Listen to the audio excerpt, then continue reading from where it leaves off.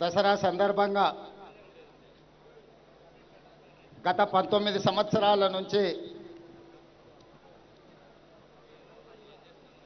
మన అందరి అభిమాన వ్యక్తి రాజకీయాలకు అతీతంగా ప్రతి ఒక్కరి చేత గౌరవింపబడే బండారు దత్తాత్రేయ గారు దసరా ఉత్సవాల సందర్భంగా పంతొమ్మిది సంవత్సరాల నుంచి అలై బలై కార్యక్రమాన్ని ఏర్పాటు చేసి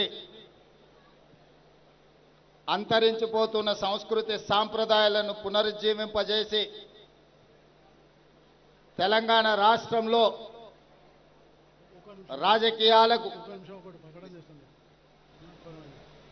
ఇప్పుడు నేను ముఖ్యమంత్రి గారిని మీకు ఇంతకుముందు చెప్పినట్టుగా ఒక విషయం గుర్తు చేయడానికి ముందుకు వచ్చినాను అదేమిటంటే ఈసారి అలయబలయలో ప్రత్యేకమైనటువంటి గ్రామీణ చేతి వృత్తుల యొక్క ముఖ్యంగా ఓబీసీ వర్గాల్లో ఉన్నటువంటి చేనేత గీత గుర్ర కార్మికులు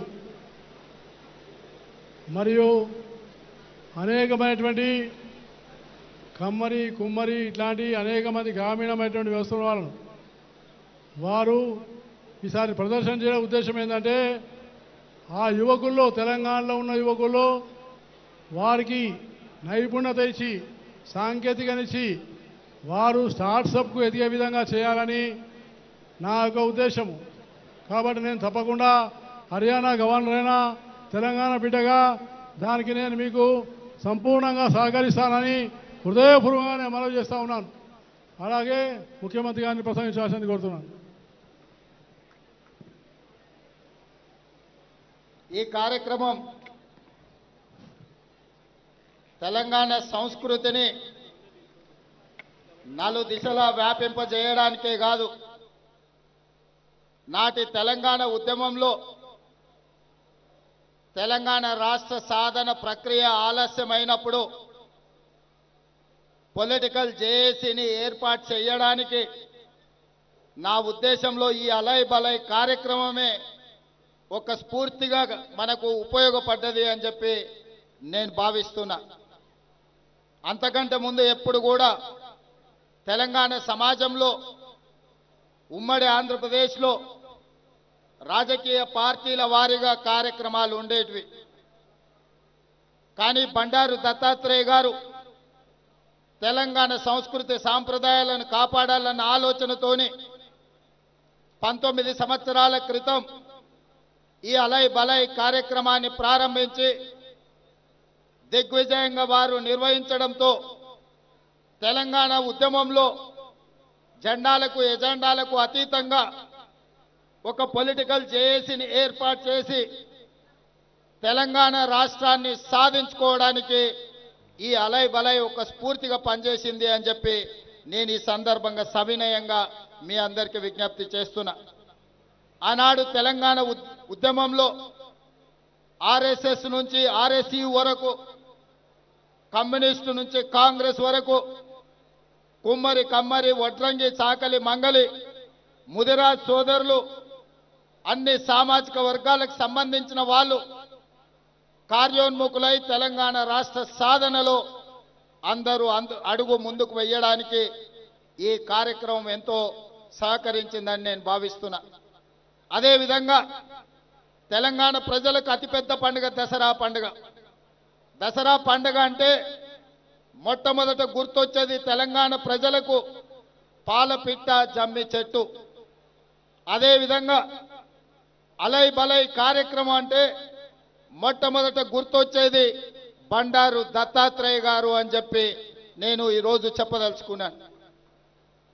అంతకుముందు ఎవరికి వాళ్ళు దసరా పండుగ పూర్తి చేసుకొని కుటుంబంలో ఉండే పెద్దలకు బంధువులకు మిత్రులకు జమ్మి పెట్టి అలై బలై చేసుకొని మనందరం అభివృద్ధి పదం వైపు నడవాలి.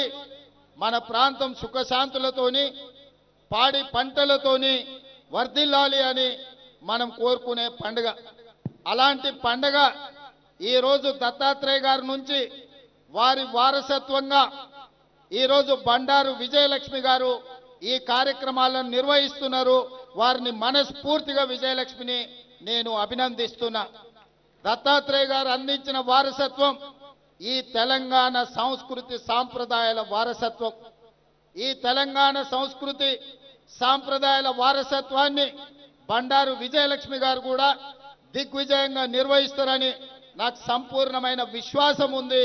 అందుకే ఈరోజు ప్రభుత్వం పరంగా కూడా మా పార్టీ పరంగా కూడా ముఖ్యమైన నాయకులు రాష్ట్ర అధ్యక్షులు మహేష్ కుమార్ గౌడ్తో పాటు మా పెద్దలు హనుమంతరావు గారు మా కేశవరావు గారు పొన్నం ప్రభాకర్ గారు ప్రభుత్వం అంతా కూడా ఇక్కడికి తరలి వచ్చి బండారు దత్తాత్రేయ గారు నిర్వహిస్తున్న బండారు విజయలక్ష్మి గారు నిర్వహిస్తున్న ఈ అలాయ్ బలాయ్ కార్యక్రమంలో పాల్గొని దీనికి సాంప్రదాయమే ప్రతీక దీనికి రాజకీయాలతో సంబంధం లేదు.